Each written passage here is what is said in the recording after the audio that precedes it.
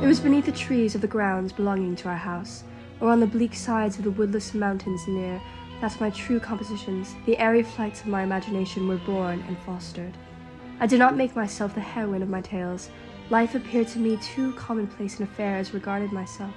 I could not figure to myself that romantic woes or wonderful events would ever be my lot. But I was not confined to my own identity, and I could not people the hours with creations far more interesting to me at that age than my own sensations. Here I recount the circumstances which led to the creation of my greatest work, surrounded by my fellow romantics on the shores of Lake Geneva, with luck exactly as they happened.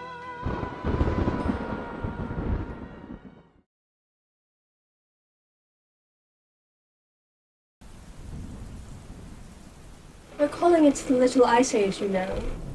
Calling what? The unseasonable weather. They're calling it the Little Ice Age. Oh, Percy, they say it's the result of some ghastly eruption in the East Indian archipelago. Isn't that just Gotham?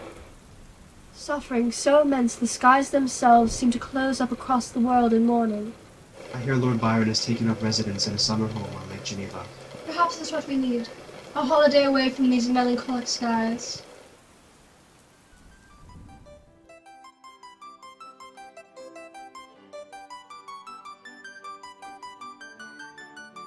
Percy Byron. Shelley, you old boy! I see you've brought your latest news. Mary, I'm a writer myself. Yes, you're that Wollstonecraft girl. Your mother wrote that horribly droll manifesto on the rights of a woman, did they not? A vindication of the rights of woman. Bang on! And what exactly are they working on now? My mother died giving birth to me. Oh dear. It seems you've brought some of that ghastly, stormy London weather along with you. Come, come, inside. We have much to discuss. Aren't you coming? It proved a wet, ungenial summer, and incessant rain often confined us for days to the house. Some volumes of ghost stories, translated from the German into French, fell into our hands.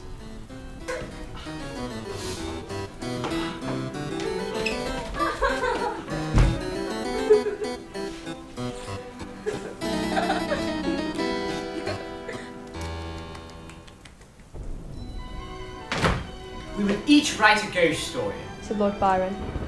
And his proposition was acceded to. There were four of us in the drawing room that night. We pondered as the noble author began to recite the penultimate lines of his poem Mazeppa. Comrades, good night, the hetman threw. His length beneath the oak tree shade, with leafy couch already made. A bed nor comfortless nor new, to him who took his rest whene'er the hour arrived, no matter where. His eyes hastening slumbers steep, and if ye marvel, Charles forgot to thank his tale. He wondered not. The king had been an hour asleep. I busied myself to think of a story, a story to rival those which had excited us to this task, one which would speak to the mysterious fears of our nature, and awaken thrilling horror, one to make the reader dread to look round, to curdle the blood, and quicken the beatings of the heart. Night waned upon this talk, and even the witching hour had gone by before we retired to rest. When I placed my head on my pillow, I did not sleep, nor could I be said to think. Percy and Byron stood outside my chamber door, loudly arguing some philosophical doctrine, and among others the nature of the principles of life, and whether there was any probability of its ever being discovered and communicated. They talked of the experiments of Dr. Darwin, and of the lengths man had gone to steal the sublime from nature. Is it man's hamartia to emulate the creator? Pish!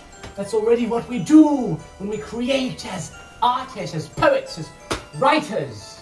We also destroy those ghastly machinations in Gladstone, in Leeds, those hideous machines shooting black soot into the sky, corrupting like a cancer. Exactly, destruction. So don't you think it's time for humanity's next great creation? What exactly are you suggesting? A heart is beating, then it's done. What is the difference? My imagination, unbidden, possessed and guided me, gifting the successive images that arose in my mind with a vividness far beyond the usual bounds of reverie. I saw, with shut eyes but acute mental vision, I saw the pale student of unhallowed art kneeling beside that thing he had put together, that creature.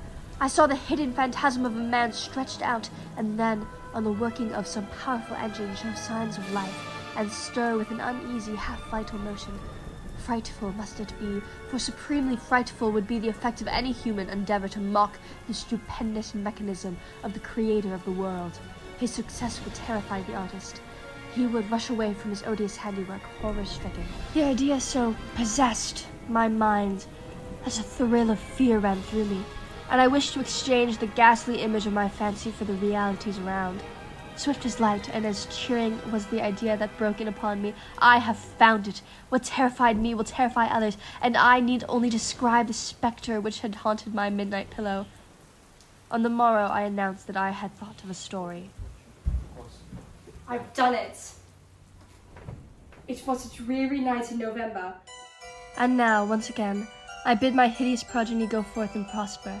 I have an affection for it, for it was the offspring of happy days, when death and grief were but words, which found no true echo in my heart, on the gloomy shores of Lake Geneva.